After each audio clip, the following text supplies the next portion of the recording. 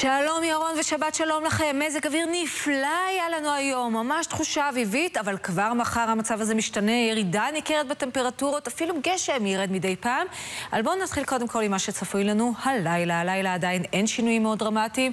אה, טמפרטורות אפילו נוחות יחסית ללילות האחרונים, 7 עד 10 מעלות בהרים, 12 לאורך מישור חוף, 10 בצפון הנגב, 13 מעלות באילת. אמרנו מחר המצב משתנה, הרוחות לא תהיינה מאוד חזקות, דרומיות מערביות מערביות. מערביות 20 עד 30 קילומטרים בשעה.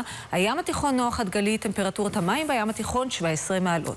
אז הנה כבר הטמפרטורות למחר, ירידה ניכרת בטמפרטורות, 5-6 מעלות, פחות ממה שהיה לנו היום.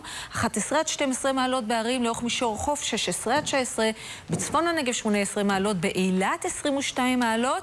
מחר ירד גשם מקומי קל בצפון הארץ ומרכזה, רק בשעות הלילה הגשם יתחזק במידה ניכרת, ושוב ביום ראשון הוא ייחלש. אז מחר גשם קל במהלך היום, צפון מרכז, בלילה בין שבת לראשון הגשם יתחזק.